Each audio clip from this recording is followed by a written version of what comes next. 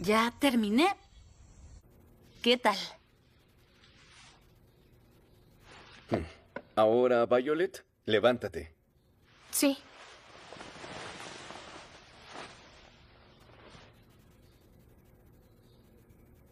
Hmm. Se te ve muy bien.